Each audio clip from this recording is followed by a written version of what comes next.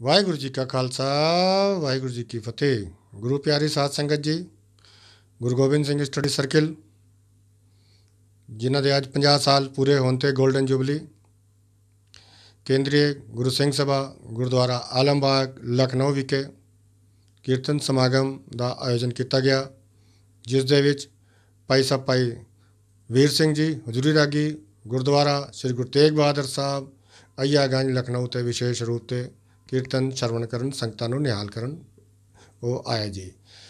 ਸਾਧ ਸੰਗਤ ਜੀ, ਆਪ ਇਹ ਕੀਰਤਨ ਜ਼ਰੂਰ ਸੁਣਨ ਦੀ ਕਿਰਪਾਲਤਾ ਕਰੋ ਤੇ ਪੋਪਲੀ ਲਾਈਵ 13 13 ਕੀਰਤਨ ਚੈਨਲ ਜੋ YouTube ਤੇ 10 ਸਾਲ ਤੋਂ ਜ਼ਿਆਦਾ ਆਪਣੀ ਸੇਵਾ ਨਿਭਾ ਰਿਹਾ ਹੈ, ਆਪ ਸਾਰੇ ਉਸ ਚੈਨਲ ਨੂੰ ਸਬਸਕ੍ਰਾਈਬ ਔਰ ਸ਼ੇਅਰ ਵੀ ਕਰਨ ਦੀ ਕਿਰਪਾਲਤਾ ਜ਼ਰੂਰ ਕਰੋ ਜੀ।